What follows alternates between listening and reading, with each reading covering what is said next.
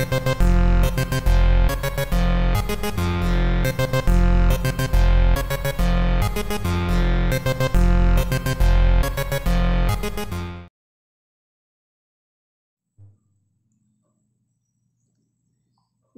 ചാനലിന്റെ പുതിയൊരു വീഡിയോയിലേക്ക് എല്ലാവർക്കും സ്വാഗതം. നമ്മൾ ഇന്ന് ചർച്ച ചെയ്യുന്നത് ക്യു ജി ഐ എസിനെ പറ്റിയാണ്. അതായത് ക്വാണ്ടം ജി ഐ എസ്. ഭൗമോപരിതലത്തിലെ സവിശേഷതകളെയും സ്ഥാനീയ വിവരങ്ങളെയും പല പാളികളായി അഥവാ ലെയേഴ്സായി രേഖപ്പെടുത്തുന്നതിനുള്ള സോഫ്റ്റ്വെയർ സംവിധാനമാണ് ഭൂവിവര വ്യവസ്ഥ സോഫ്റ്റ്വെയറുകൾ ഇത്തരം ഭൂവിവര വ്യവസ്ഥ വ്യവസ്ഥ സോഫ്റ്റ്വെയറുകളിലെ സ്വതന്ത്ര സോഫ്റ്റ്വെയറുകളിൽ പ്രധാനപ്പെട്ട സോഫ്റ്റ്വെയറാണ് ക്വാണ്ടം ജി ഐ എസ് ആദ്യം ക്യു ജി ഐ എസ് തുറക്കുന്നത് എങ്ങനെയാണെന്ന് നമുക്ക് നോക്കാം. അതിനായി ആപ്ലിക്കേഷൻസിൽ എഡ്യൂക്കേഷൻ അതിൽ Q G I S desktop എന്ന ക്രമത്തിൽ ഓപ്പൺ ചെയ്യുക.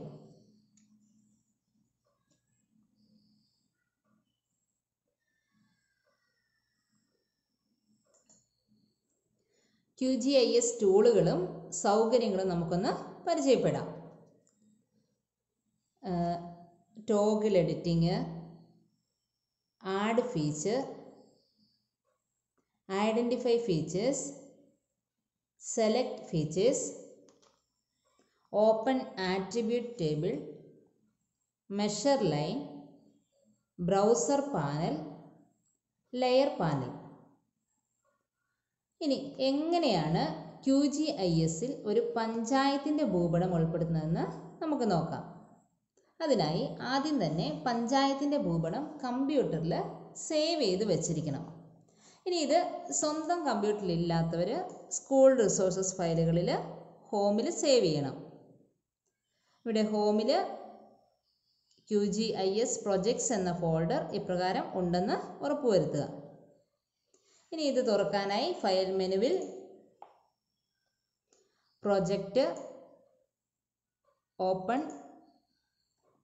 ഹോമിൽ Q G I S projects അതിൽ പഞ്ചായത്ത് പ്രൊജക്ട്സ് വീണ്ടും അത് ഓപ്പൺ ചെയ്ത് കഴിഞ്ഞാൽ Q G I S projects dot Q G S. ഇത് ഓപ്പൺ ചെയ്യുക. ഒരു പഞ്ചായത്തിന്റെ ഭൂപടമാണ് നമ്മളിപ്പോൾ ഇവിടെ കാണുന്നത്. നമ്മുടെ മൗസിലെ സ്ക്രോൾ വീലില്ലേ അതുപയോഗിച്ച് ഈ മാപ്പിനെ നമുക്ക് വലുതോ ചെറുതോ ഒക്കെ ആക്കാം. ഇനി ഇതിലെ വ്യത്യസ്ത ലെയറുകളെ നമുക്കൊന്ന് പരിചയപ്പെടാം. ലെയർ പാനലിലാണ് ലെയറുകൾ കാണപ്പെടുക. ഇവിടെ ലെയർ പാനലിൽ school house panchayat road roads river plots boundary ഇങ്ങനെ ഇത്രയും ലെയറുകളാണ് ഇപ്പം ഉള്ളത്. ഈ ലെയറുകൾക്ക് നേരെയുള്ള ടിക്ക് മാർക്കിൽ പ്രസ് ചെയ്ത് കഴിഞ്ഞാൽ അത് അപ്രത്യക്ഷമാകും. ആ ലെയറുകൾ അപ്രത്യക്ഷമാകും. അത് ക്ലിക്ക് ചെയ്ത് കഴിഞ്ഞാൽ അതുപോലെ തന്നെ ഉൾപ്പെടുത്താനും ആ ടിക്ക് മാർക്കിൽ തന്നെ ക്ലിക്ക് ചെയ്താൽ മതി. ഈ പാനൽ പാനലിൽ നിന്നും ഒരു ലെയർ തിരഞ്ഞെടുത്ത് അതിൽ റൈറ്റ് ക്ലിക്ക് ചെയ്ത് ഓപ്പൺ ആട്രിബ്യൂട്ട് ടേബിൾ സെലക്ട് ചെയ്യുക. ആ ലെയറിലെ എല്ലാ വിവരങ്ങളും അടങ്ങുന്ന ഒരു ടേബിൾ നമുക്ക് കാണാൻ സാധിക്കും. ഇതിപ്പോൾ നമ്മൾ ഹൗസിന്റെ ആണ് ഹൗസ് എന്ന ലെയറിന്റെ ആട്രിബ്യൂട്ട് ടേബിളാണ് കാണുന്നത്. നമ്മൾ അത് ചെയ്തത് ഹൗസിൽ റൈറ്റ് ക്ലിക്ക് ചെയ്ത് ഓപ്പൺ ആട്രിബ്യൂട്ട് ടേബിൾ കൊടുത്തപ്പോഴാണ് ഇങ്ങനെ വന്നിരിക്കുന്നത്. ഇനി ഇപ്പോൾ പഞ്ചായത്തിലെ എല്ലാ വീടുകളെ പറ്റിയുള്ള വിവരങ്ങളാണ് കണ്ടത്. ഇനി ഒരു പുതിയ ലെയർ എങ്ങനെയാണ് ഉൾപ്പെടുന്നതെന്ന് നോക്കാം. അതിൽ നമുക്ക് കിണറിനെ പറ്റിയുള്ള ഒരു ലെയറാണ് ഉൾപ്പെടുത്തേണ്ടതെന്ന് വിചാരിക്കുക. ഇതിനായി ഉടമസ്ഥാവകാശം അതായത് ഓണർ ആഴം ഡെപ്ത് അതുപോലെ തന്നെ ചിലവ് അതായത് കോസ്റ്റ് ജലലഭ്യത അതായത് വാട്ടർ പോർട്ടബിലിറ്റി ഈ ജലലഭ്യത എന്ന് പറയുമ്പം വർഷം മുഴുവൻ വെള്ളം കിട്ടുന്നതിന് നമ്മൾ ഒന്ന് എന്ന് നമ്പർ കൊടുക്കുന്നു. അതുപോലെ തന്നെ വറ്റിപ്പോകുന്നത് രണ്ട് എന്ന നമ്പറും കൊടുക്കുന്നു. ഇനി ഈ വിവരങ്ങൾ ഉൾപ്പെടുത്തി നമുക്ക് കിണറിനായിട്ട് ഒരു ലെയർ ഉണ്ടാക്കാം. ഇതിനായി ഫയൽ മെനുവിലെ ലെയർ എടുക്കുക. അതിൽ ക്രിയേറ്റ് ലെയർ അതിൽ ന്യൂ ഷേപ്പ് ലെയർ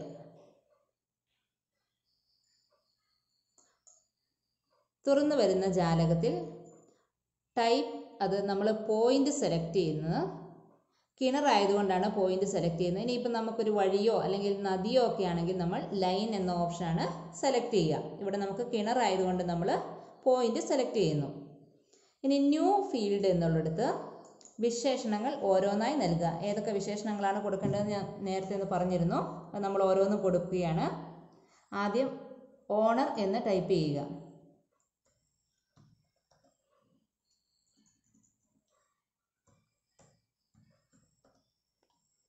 ഇനി ടൈപ്പിന്റെ അകത്ത് നെക്സ്റ്റ് വൺ ടൈപ്പ് എന്നുള്ള അതിൽ ടെക്സ്റ്റ് ഡേറ്റ തന്നെയാണ് വേണ്ടത്. അത് അതുപോലെ തന്നെ നിലനിർത്തുന്നു. അതുപോലെ തന്നെ ലെങ്ത്തും മാറ്റേണ്ടതില്ല ഇനി add to fields list click ചെയ്യുക. അപ്പോൾ ഫീൽഡ്സ് ലിസ്റ്റിലേക്ക് ഇത് വരുന്നത് നമുക്ക് കാണാം. ഇനി വീണ്ടും നെയിമിൽ അടുത്ത ഫീൽഡിന്റെ പേര് കൊടുക്കുക. ഡെപ്ത് എന്ന് കൊടുക്കുന്നു. അവിടെ ടൈപ്പിൽ നമ്മൾ ഹോൾ നമ്പർ എന്നാക്കി കൊടുത്ത് ആഡ് ടു ഫീൽഡ് ലിസ്റ്റ് കൊടുക്കുന്നു. ഇനി അടുത്തത് എക്സ്പെൻസ് എന്ന് കൊടുക്കുന്നു നെയിമിൽ അതിന്റെ ടൈപ്പിൽ നമ്മൾ ഡെസിമൽ നമ്പർ സെലക്ട് ചെയ്ത് ആഡ് ടു ഫീൽഡ്സ് ലിസ്റ്റ് കൊടുക്കുന്നു. അടുത്തത് പോർട്ടബിലിറ്റി ആണ്. അത് ടൈപ്പ് ചെയ്യുന്നു. അതിനുശേഷം ടൈപ്പിൽ ഹോൾ നമ്പർ കൊടുത്ത് ആഡ് ടു ഫീൽഡ്സ് ലിസ്റ്റ് കൊടുക്കുന്നു. അങ്ങനെ നമ്മൾ കൊടുക്കേണ്ട എല്ലാ വിവരങ്ങളും ഇപ്പം ഇവിടെ കൊടുത്തു കഴിഞ്ഞു. ഇനി ഓക്കെ അമർത്തുക.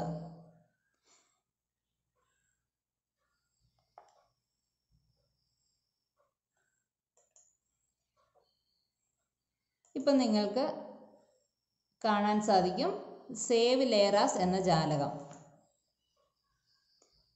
ഇവിടെ നമ്മൾ വെൽ എന്ന് പേര് നൽകുന്നു. എന്നിട്ട് ഞാനിവിടെ ടെൻ എന്ന ഫോൾഡറിൽ സേവ് ചെയ്യുന്നു.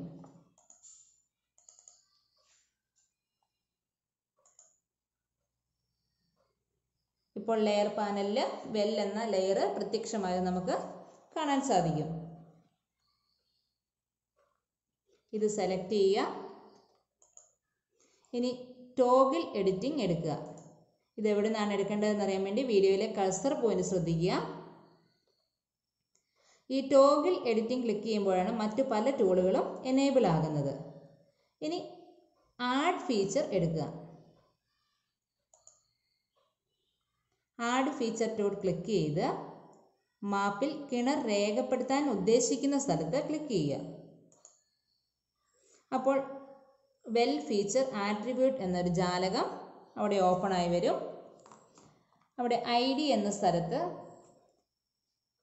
ഞാൻ ഇവിടെ എട്ട് ലെയർ ഉണ്ട്. അതിൽ എട്ടാമത്തെ ലെയർ ആയിട്ടാണ് വെല്ല് വന്നിരിക്കുന്നത്. കൊണ്ട് എട്ട് എന്ന് കൊടുക്കുന്നു.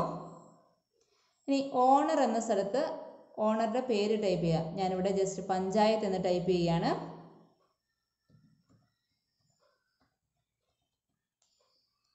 ഡെപ്ത് സിക്സ് എന്ന് കൊടുക്കുന്നു. എക്സ്പെൻസ് ഫോർട്ടി ഫൈവ് തൗസൻഡ് കൊടുക്കുന്നു.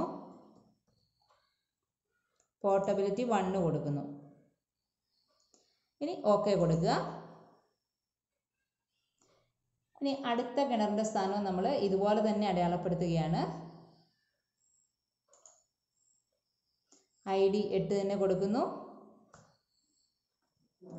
ഓണർ പഞ്ചായത്ത് കൊടുക്കുന്നു.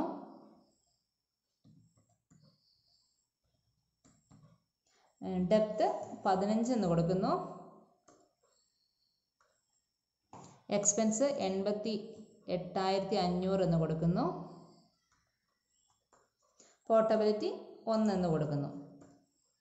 ഇനി ഓക്കെ കൊടുക്കുക. ഇങ്ങനെ നമുക്ക് ആവശ്യമുള്ളത്രയും എണ്ണം കിണറുകളുടെ വിവരങ്ങൾ നമുക്ക് ഉൾപ്പെടുത്താൻ സാധിക്കും. ഇനി വീണ്ടും ടോഗിൾ എഡിറ്റിംഗ് പ്രസ് ചെയ്യുക. അപ്പോൾ do you want to save the changes to layer well എന്ന് ചോദിക്കും. സേവ് കൊടുക്കുക. നമ്മൾ ആഡ് ചെയ്ത കിണറുകൾ നമുക്ക് കാണാൻ സാധിക്കും. ഇനി ഈ ലെയറിന്റെ കളറ് ഷേപ്പ് സൈസ് ഇതൊക്കെ നമുക്ക് മാറ്റാൻ സാധിക്കും. അതിനായിട്ട് എന്താ ചെയ്യേണ്ടതെന്ന് വെച്ചാൽ അതിനായി വെൽ ലെയർ സെലക്ട് ചെയ്ത്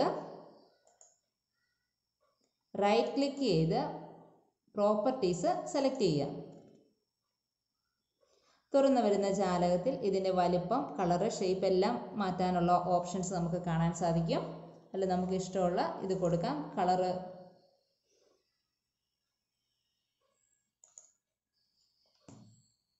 നമുക്ക് ഇഷ്ടമുള്ളൊരു കളർ സെലക്ട് ചെയ്ത് കൊടുക്കാം.